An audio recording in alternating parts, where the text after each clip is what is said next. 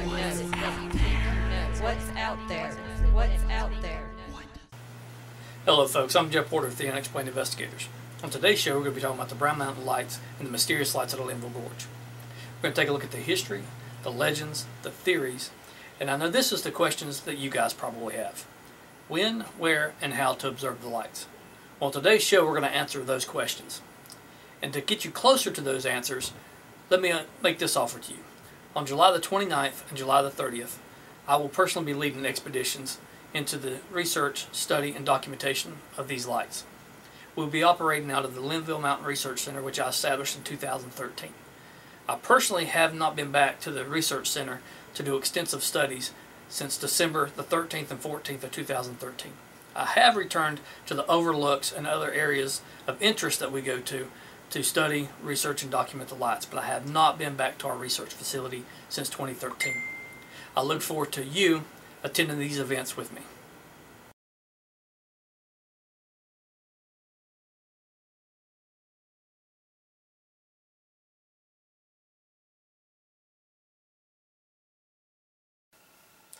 Alrighty folks, let's go ahead and get the show started today. I wanted to kick off with a few photographs that we as a team have taken in the field, whether it be at Brown Mountain, to Linville Gorge, or to the Linville Mountain Research Center. The first photograph that I want you to take a look at, uh, this one was taken at the Brown Mountain Overlook just last September, September 2015. And what we had happen was the, the cloud cover in front of us out over the, the mountains had illuminated, seemingly for no reason. As we gazed at it and we studied it, we began to notice that there was a series of six or seven lights above the clouds, and these lights were emitting and beaming light through the clouds. Our photographer was able to get a grainy photograph of this, and we've tried to enhance it. And as you can see, we've lost, we have a little distort, distortion there, but you can clearly see that these are abnormal lights that would appear in the sky. Our next photograph was taken at the Wiseman's View Overlook. And as you can see, and I'm going to do a series of photographs here, the light begins to show just above the tree line, but you can't really distinguish if it's in the trees or above. As the photos progress, a photographer was able to get a photograph of this light above the tree line. This is very interesting in that we're able to show that it began at around ground level, into the trees, and then above.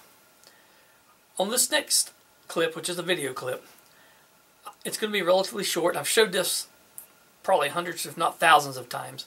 And this event occurred at the Linville Mountain Research Center. And if you, as you watch the video, and there's going to be a few zoom, we're going to zoom in and out here, you're going to be able to see that in this at this evening, as we were walking through the woods, and I was leading a, a group through, and this happened to be a newspaper reporter from the Morganton News Herald who wanted to look at a location we had there on site. And as we're walking, I'm talking about the mysterious lights of the gorge and Brown Mountain lights. Out of nowhere, we we our attention is drawn to a noise in the sky. The entire group turns. My response was, "Is a turkey," and that was kind of a nervous response. It just the first thing I could kind of get out to kind of calm the crowd. I didn't. Everybody was a little panicked. I didn't want people to take off running on me. We observed the sky. We didn't see anything clearly, but as you can see, upon video review, we were definitely being followed, tracked through the woods, and at one point, they made sure that we knew their presence was there. Hello folks, now we're going to talk about some of the history. The Appalachian Mountains formed about 480 million years ago, and at one point reached similar elevations to those of the Alps and the Rocky Mountains. The Linville Gorge, the Grand Canyon, North Carolina. It's comprised of 11,786 acres around the Linville River and situated in the Pisgah National Forest. The river flows approximately 1,400 feet below the ridge. Now the name for Linville comes from John and William Linville, who were scalped by the local Indians in 1766. Brown Mountain, elevation 2,283 feet, and most well known for the Brown Mountain Lights. Alright folks, let's talk about some history that you may not know about. I want to start with the year 1780 and the Revolutionary War, and how that relates to Linville and the Gorge and Old Highway 105. there's a trail now called the Over Mountain Victory Trail, and this is what our high country militiamen used to go to and from the Battle of Kings Mountain. And as you know, we won that battle. And as Thomas Jefferson pointed out, that battle was the turning point of the Revolutionary War. In addition, the area of Linville and, and the area of the gorge was used to mine ore, which was used to the benefit of the Southern Army during the Civil War. Subsequent to that, for many years, has been rumored, and the military denies it.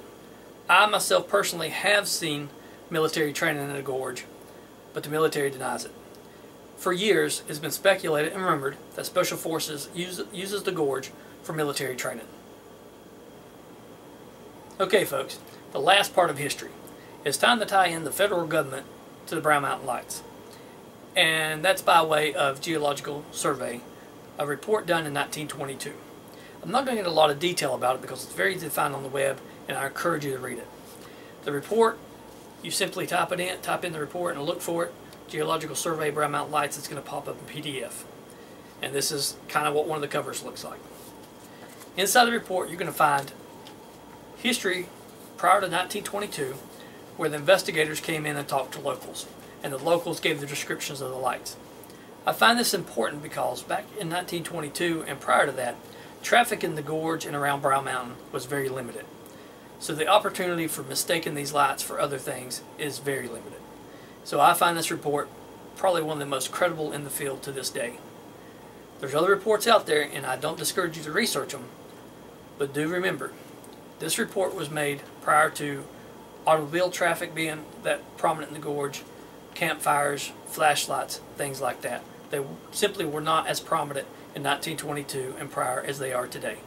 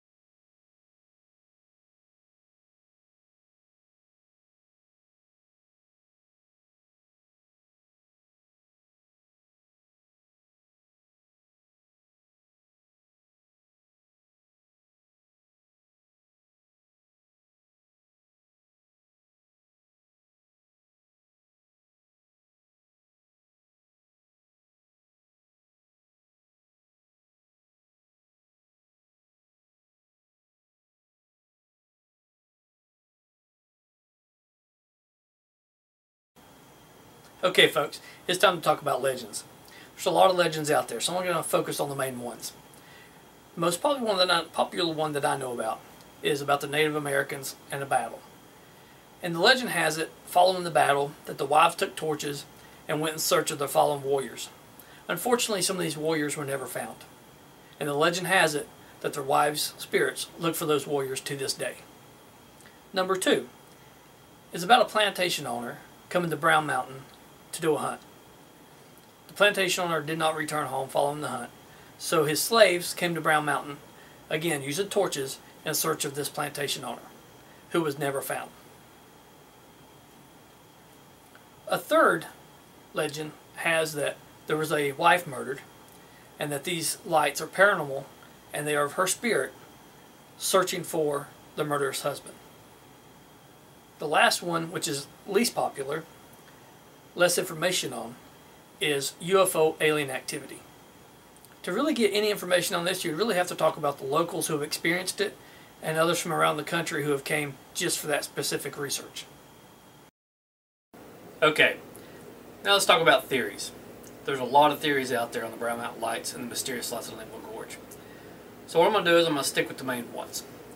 the first one is supernatural and paranormal. I really leave that up to each individual to make that decision.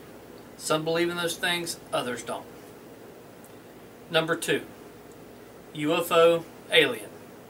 kind of the same thing as the paranormal. I really leave that up to the individual.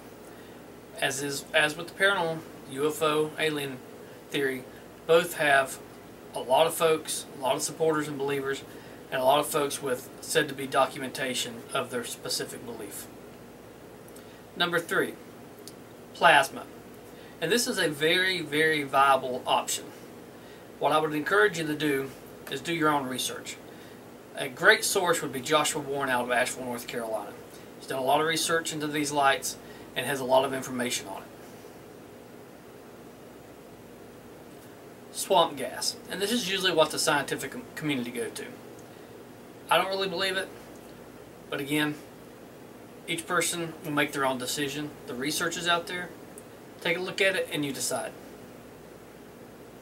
Static electricity energy release from the earth. Not a lot of information out there on the internet about that. There, there are books that you can get and read and study on it. I would encourage you to do that. When I look at the lights, I oftentimes believe that may be what I'm seeing, especially when I have ground to cloud activity. But it's not always the same. It changes. Biological. This is a concept theory that never, had never been presented to me. Last September, September 2015, a couple visiting from out of state introduced me to this theory. Listening to their thoughts, their research, and their opinions on it was pretty compelling. Some of the things that they had looked at is the anglerfish and a shark that is illuminated in the ocean. And these things attract prey. With that concept, this could be a viable answer to the Brown Mountain Lights.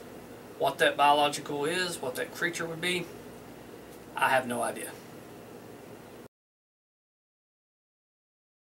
Now it's time to answer your question. When, where, and how to observe the Brown Mountain Lights. So let me give you the months. The two most popular are September and October. However, you can observe the lights from late September through early April. The reason for that is there's simply no leaves on the trees. And if they are, they're small. I have myself personally experienced the lights year round. But again, the best observation time, late September through early April. Now what to look for in conditions? Well, what I look for is warm days followed by a cool evening. Usually a 5 to 10 degree difference. Makes, makes for the best options. Now leading into that, you have more chance of seeing the lights if this day follows or is involved in a thunderstorm or many days of showers. Again, that's what I use. There's other criteria out there. I encourage you to do your research and make your decision. Now, where to look for them at? You can go to Wiseman's View, Brown Mountain Overlook, Table Rock. There's multiple places that you can go. The most popular is Highway 181, the Brown Mountain Overlook, and it's also the easiest. The next second popular that I know of is Wiseman's View. But again, do your research, find which one of these overlooks is most comfortable for you, and operate from there.